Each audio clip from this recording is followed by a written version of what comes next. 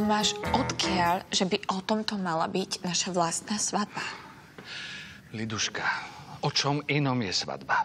Zavoláš čo najviac ľudí, no. lacno ich nakrmíš, opiješ, ale hlavne od nich zobereš finančné dary. Á, takže o tomto má byť moja svadba. No, konečne si to pochopila. Liduška, veď ako mladomanželia budete potrebovať peniaze ako soľ? Tak v tom prípade žiadna svadba nebude. To si robíš srandu! Emil, upokoj sa. Ale ako sa mám upokojiť, keď ruší svadbu? Ona nič neruší, iba chce svadbu podľa seba. Jaj, dobre, dobre. Takže keď sa vyznáš vo svadbách lepšie ako my, tak nám láskavo povedz, ako si ty svoju svadbu predstavuješ. Zlatinko, akú svadbu by si chcela?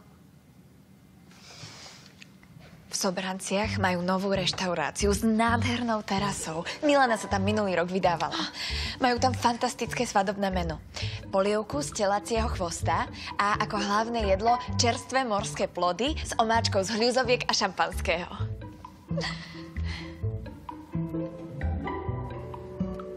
Ty chceš na vlastnej svadbe jesť nejaký chvost a kusy chobotnice?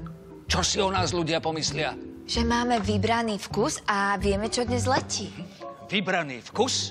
Ľudia hladní. Prečo by mali byť hladní? Miláčik, Miláčik vie si predstaviť tetu Helu Zuble, ako sedí na tej svadbe a trhá si nejaké kusy chobotnice? Hej, tak jej ponúkneme niečo iné. Ale toto je blbosť. Toto je celá jedna obrovská blbosť. Svadba do 100 ľudí a bez poriadného mesa nie je svadba. Ja som povedala a hotovo. Ak chceš mať svadbu s 500 ľuďmi a pečenou sviňou, tak sa ožeň sám. Ja už ženatý som. Zabudla si? Lídia.